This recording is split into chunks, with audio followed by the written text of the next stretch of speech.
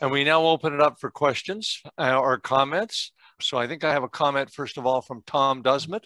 Uh, please unmute yourself and uh, let us hear your comment, Tom, please.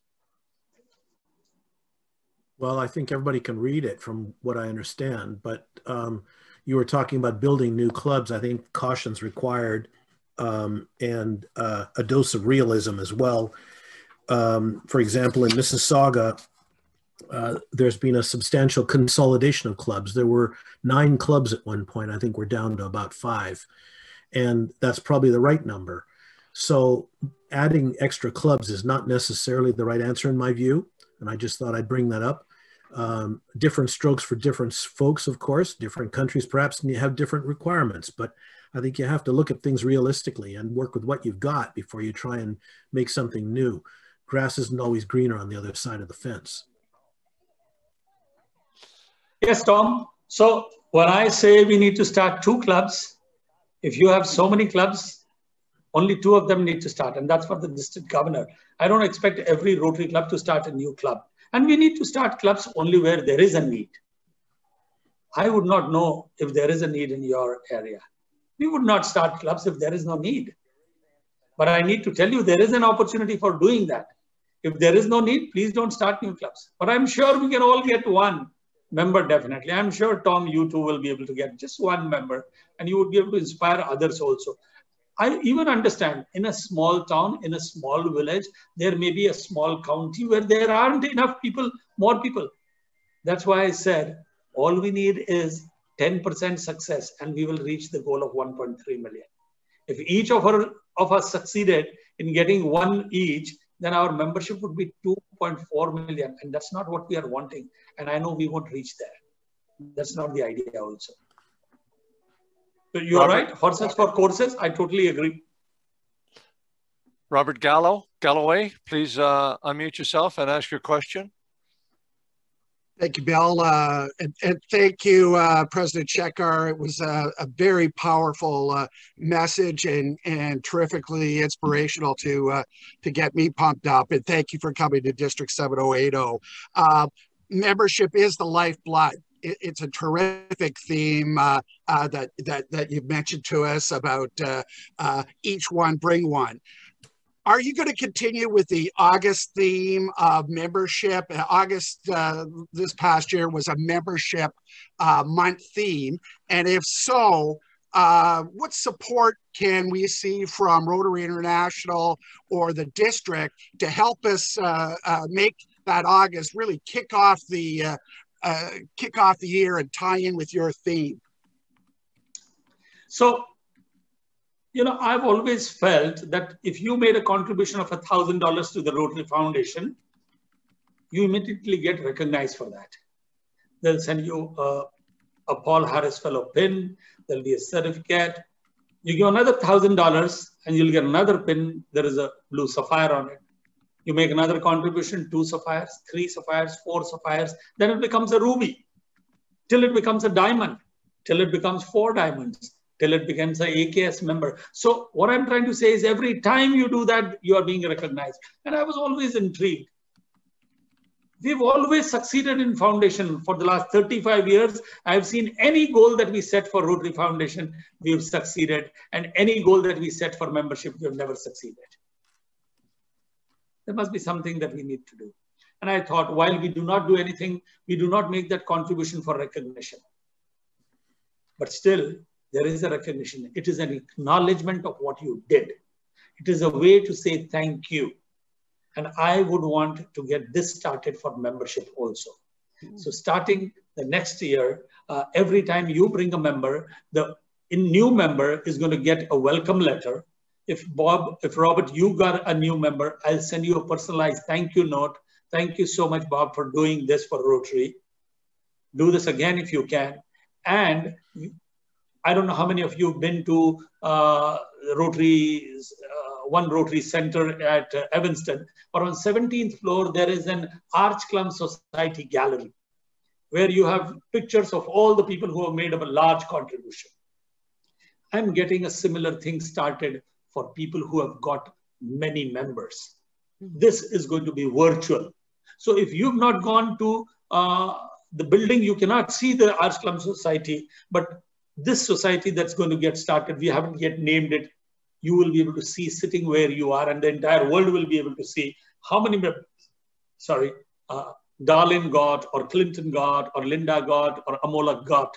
So that's another way of recognizing people who have gone up to 50 members or 100 members. There may be some people, I do not know. I've crossed the 50 mark over the years, 35 years, I'm aware, but there may be some people. So there would be uh, people who are recognized for that. So these are things that we are doing to support, encourage people. Uh, and we don't need to wait. August is the August month to get members, but I would not wait up to August. To me, July is the August month to get members. Thank you. Thank, thank you, President. District Governor Mike Lowry, ask your question, please. Thank you, Bill. Uh, President-elect Shekhar, uh, thank you for joining us. And I, I, wanted to just invite you to update us in partnerships that we have been talking about for a few years, and in particular, the current status of, of our work with Rotaract and Toastmasters International. So Rotaract is no more a partnership. It's now a type of membership, as you are aware. And I think it's one of the epoch-making decisions that we have done in recent times uh, which means they are equals to us. Starting next year, they will start paying their dues. The moment they pay their dues, we will know how many Rotaractors there are around the world because we will have data. And once they start paying dues, they will have rights also. They would have done their duty of paying the dues and they'll get their rights also. And soon they will be able to start participating in programs and projects of Rotary Foundation also. So I think that's a huge step that we have taken I see in very uh, recent future, I see that the membership of Rotary will be considered as a combine of Rotary and Rotaract membership because these are two different types of membership. That's one. About the other, you asked me, what was the other partnership that you asked me about? Toastmasters International. Toastmasters, okay. So that has, I'm told, that has been hugely successful. There are uh, huge percentage of clubs from around the world who are uh, using the uh, benefits that is from uh, the, the program of Toastmasters. So it is a successful program. And uh, as years pass, I think there will be uh, greater success in the program. It's a successful program. Thank you. Dan Jabril, did you want to add anything to the comment you made? Uh, not anything. I could I could bring it up.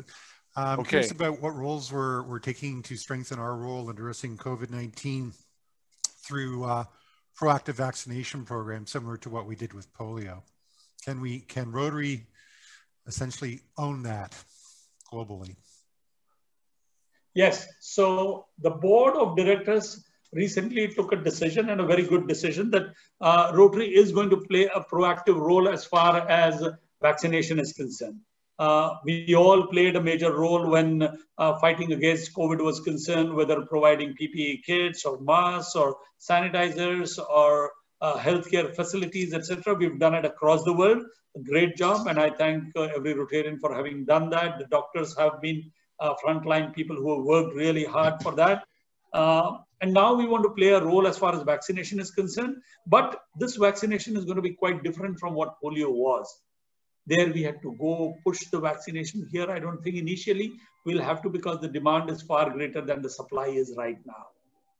But what we've decided is that every, we are encouraging people to go meet the local authorities, discuss with them, is there a role that they expect us to do? For example, back in India, uh, the government is inviting us because they expect the civil society to also participate in the process of vaccination.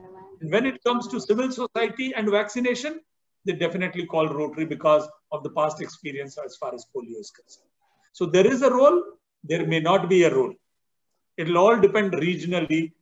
So if we find uh, uh, that there are countries where there is no uh, vaccine available and you have some influence over that country or some people in that country and you can help or somewhere some vaccine producer uh, you know of and can help in those countries, that's another way we will be able to.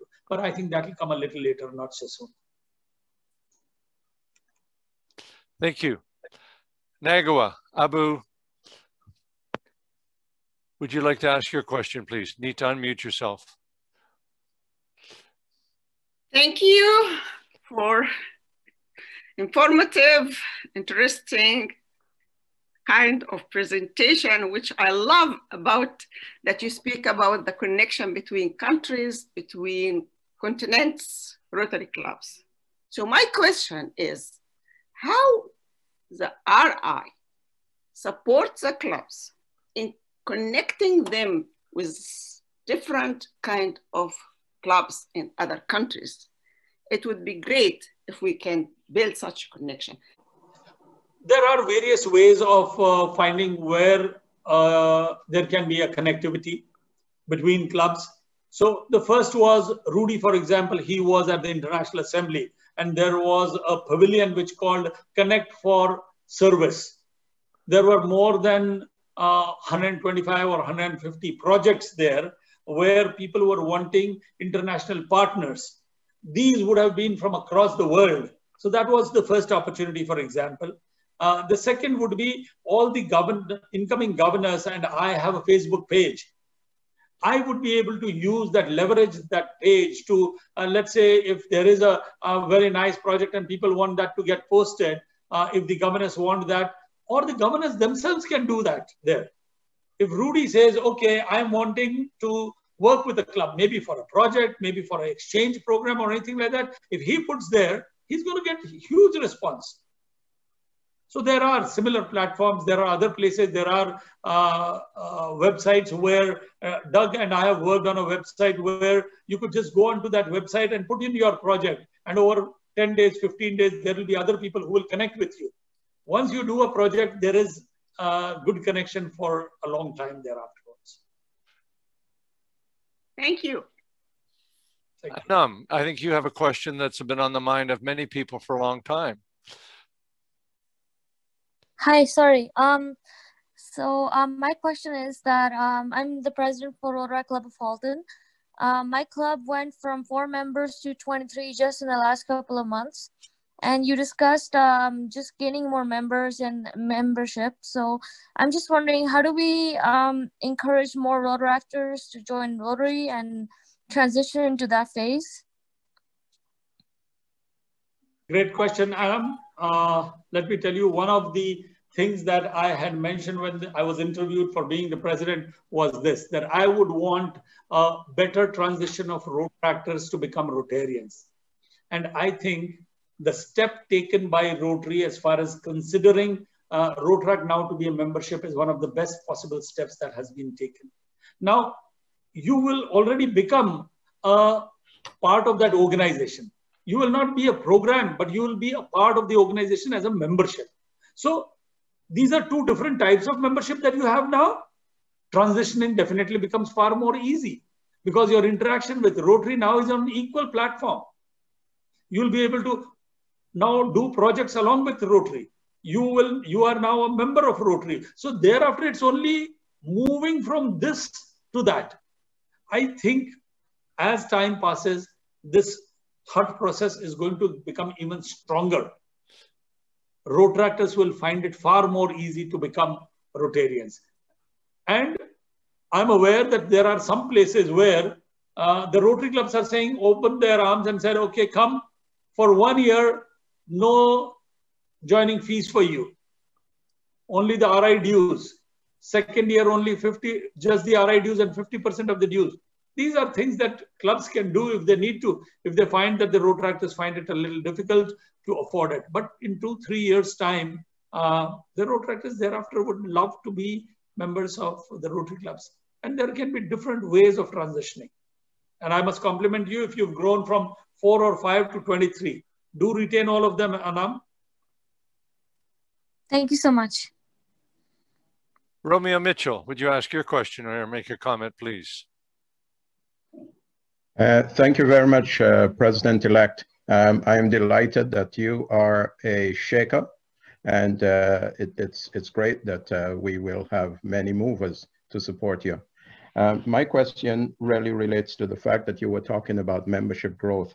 And what I'm finding is that there seems to be an emphasis uh, historical emphasis that, that's been focused on uh, basically sustaining members. I believe that sustaining and growth are not mutually exclusive. They go together.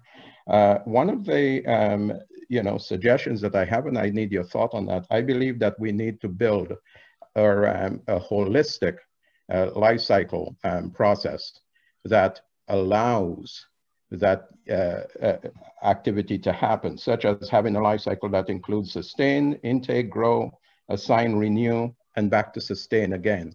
In that way, the membership responsibility, or the when I say membership responsibility, the person that's respon responsible for membership will have a, a holistic life cycle view, which is end to end, but yet continuous. What are your thoughts on that? I agree. Uh, I would say, let's say, if I bring a member in my club, while I do take responsibility of engaging that person, but the moment I bring that person to the club, it becomes the entire club's responsibility to engage that person. Right from the president, the board of directors have to assign some jobs to that new member mm. so that there is engagement.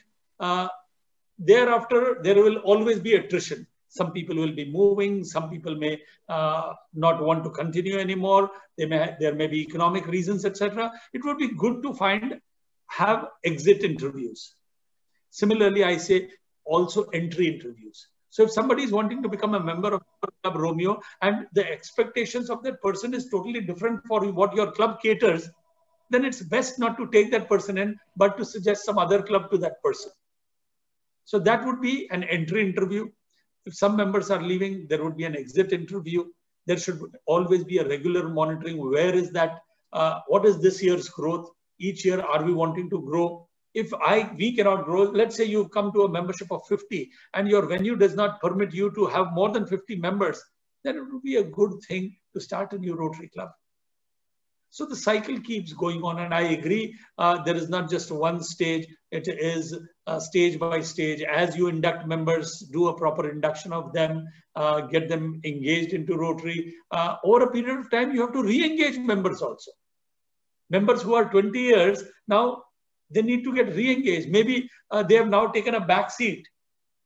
They only hear young people are to be brought into Rotary. I say everybody needs to be brought into Rotary, not just young people alone.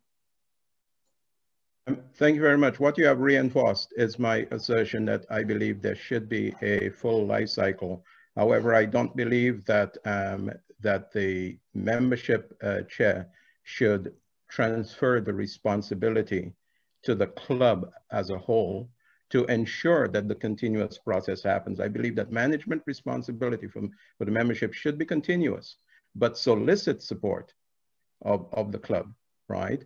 Otherwise, it could be interpreted as an abdication of responsibility once the member comes in. Um, and, and on the other point that you raised, which is um, the, you know, if someone is living the club, we need to think about it from the bigger picture if someone is living the club, we have to tell ourselves they're not living Rotary. I am living the club because I'm relocating. Let's help them find another club that is convenient for their needs, right? To keep them within Rotary. It's not about just keeping them within the club. But thank you very much. I, uh, you have my, um, my move-in support. Um, I think there's a, a, question from Leslie Barmania that uh, ties into some of the earlier work. Leslie? Thank you so much for um, a wonderful presentation, uh, very meaningful, very heartfelt, and in, in total agreement. Um, our district uh, uh, has been very supportive in general of uh, Rotaractors and, and how we can include them on district committees, and we've done this for, for a few years, um, and getting more successful at doing that. But one of the biggest challenges that Rotaractors seem to face is that transition from a lower um, uh, membership fee, uh, which is very manageable, to, and they might want to join Rotary, but that's a huge jump from the smaller $5, 8 US dollar fee, depending on the club, to what they need to pay as Rotarians. And many Rotaractors, while at school, totally understand, uh, you know, at university. And also there are other um, uh, challenges they have as they're starting a family or they're starting a career. But many are in very well-paying uh, careers uh, already. And with the raising of the level of the um, age limit, I'm just wondering if there are any, if there's any advice uh, for us as to how we can bridge that gap. How do we move people from there to here? So, Leslie, good question. And I feel one of the answers to this is virtual clubs, you know. There are no dinner expenses. There is no transport expense. There is no, there's no meeting expense at all. Everything is virtual and the expenses come down. So that's a big takeaway that we have from this pandemic. We've learned that even sitting at home, we can do things and yet be connected. So uh, I would suggest that to be an immediate remedy as far as uh, membership fee is concerned. The other, I told you, apart from the Rotary International fee, there is nothing mandatory. It depends on the club. So the club, or maybe 40 Rotary, Rotaractors could come together to form a new Rot Rotary club. Mm -hmm. Where they decide, even if we meet in person, there's not going to be any dinner. Yeah. We'll just have tea, coffee, or something like that. Because if you look at your club budget, I mean, your club fee, you will find that you pay more for your meals and meetings than you pay for uh, Rotary International. Yes. So yeah. I can think these to be the ways that we can make it easy for the Rotaractors. Thank you. Thank you. Thank you, uh, President-elect uh, Mehta, for all of your comments today.